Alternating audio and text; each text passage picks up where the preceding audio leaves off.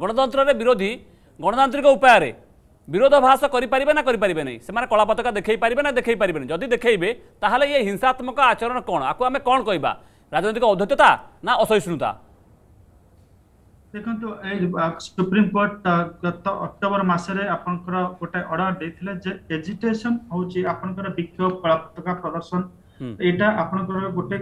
ଆପଣଙ୍କର ପ୍ରତିବାଦ କରିପାରିବେ କନଷ୍ଟିଚ୍ୟୁସନାଲ ରାଇଟ ଏବଂ ତାକୁ ଯୋଉମାନେ ଶାସକ ଦଳରେ ଅଛନ୍ତି ଯେତେବେଳେ ଯିଏ ଯୋଉ ଦଳ ଶାସନରେ ଥାଉ ନା କାହିଁକି ସିଏ ତାଙ୍କୁ ଟିକେ ଆପଣଙ୍କର ଟଲରେଟ କରିବାର କ୍ଷମତା ରଖିବା ଦରକାର ସେଇଥିରେ ସେମାନଙ୍କର ଇଜ୍ଜତଟା ବଢିଥାଏ ଆପଣଙ୍କର ଯେତେବେଳେ ସ୍ଵାଧୀନତା ସଂଗ୍ରାମୀ ହଉଥିଲା ସେତେବେଳେ ଯେତେବେଳେ ଲାର୍ଡ ସାହେବ ଯାହା କୁହନ୍ତି ଯେ ଗଭର୍ଣ୍ଣର ମାନେ ଆସୁଥିଲେ ତାଙ୍କୁ ମାନେ କଳା ପତାକା ବି ଦେଖାଯାଉଥିଲା କଳା ବ୍ୟାଚ୍ ପିନ୍ଧା ଯାଉଥିଲା ଏଇଠି ବି ଆମେ ଦେଖିଛେ ସ୍ଵାଧୀନତାର ପର ରାଜନୀତି ଆମେ ଦେଖିଛେ ଯୋଉଠି ଆପଣଙ୍କର କଳା ବ୍ୟାଚ୍ ପିନ୍ଧନ୍ତି କଳା ମାନେ ଆପଣଙ୍କର ବ୍ଲାକ୍ ଫ୍ଲାଗ୍ ବି ଦେଖାନ୍ତି ବିଜୁ ପଟ୍ଟନାୟକଙ୍କୁ ଦେଖାଯାଇଛି କିନ୍ତୁ ବିଜୁ ପଟ୍ଟନାୟକଙ୍କର ବ୍ଲାକ୍ ଫ୍ଲାଗ୍ ଯିଏ ଦେଖାନ୍ତି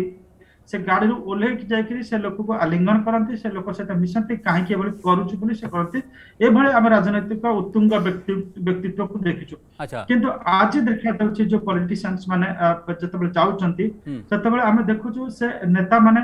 ତାଙ୍କର ସେ ନେତାମାନେ କିଛି ରିଆକ୍ଟ କରିବା ପୂର୍ବରୁ କୌଣସି ନା କୌଣସି ଜାଗାରେ କିଛି ଗୋଟେ ନିର୍ଦ୍ଦେଶ ଯାଉଛି ପୋଲିସ ବାହିନୀକୁ ସେମାନେ ଚୁପ୍ ରହୁଛନ୍ତି ଏବଂ ଶାସକ ଦଳର ଯୋଉମାନେ ରହିଛନ୍ତି କର୍ମକର୍ତ୍ତାମାନେ ସେମାନେ ଯୋଉମାନେ ବିକ୍ଷୋଭ କରୁଛନ୍ତି ସେମାନଙ୍କୁ ଅତି ଅମାନସିକ ଭାବରେ ପିଟୁଛନ୍ତି ପୋଲିସ ସେଠି ନିରବ ଦ୍ରଷ୍ଟା ହେଇ ସାଜୁଛି ଏଭଳିଆ ଆମେ ପ୍ରାୟତଃ କୋଡିଏ ପଚିଶ ବର୍ଷ ଲାଇଫ ଭିତରେ ଜର୍ଣ୍ଣାଲିଜିମ ଲାଇଫ ଭିତରେ ଆମେ ଏଭଳି କେବେ ମାନେ ଏଇଭଳି ସ୍ତରର ଏଇଭଳି ସ୍କେଲର ଯେ ପ୍ରତିପକ୍ଷ ଉପରେ ଆକ୍ରମଣ କରିବାର ବିଲକ୍ଷଣ କାହିଁକି ଅକ୍ଷୟ ବାବୁ ଏଠି ଯାହା ସୁବ୍ରତ ବାବୁ କହୁଥିଲେ ଯେ ଏବେ ଯେହେତୁ ସେମାନେ ବିଚଳିତ ହେଇଯାଇଛନ୍ତି ସେଥିପାଇଁ ବିଲକ୍ଷଣ ଆର ଆର ଗୋଟିଏ ଗୋଟିଏ ଗୋଟିଏ ସେଣ୍ଟେନ୍ସରେ କହିହେବ ମାନେ ଏଇଟା ଗୋଟେ ସେନ୍ସ ଅଫ ଇନସିକ୍ୟୁରିଟି ଅର୍ଥାତ ଅସୁରକ୍ଷିତର ଭାବନା that is haunting the ruling party members ଯେତେବେଳେ ଜଣେ ଅସୁରକ୍ଷିତ ନିଜକୁ ମନେ କରେ ସେଇଭଳି ଭାବରେ ଏଇଭଳି ଭାବରେ ତାଙ୍କର ମାନେ they just allow their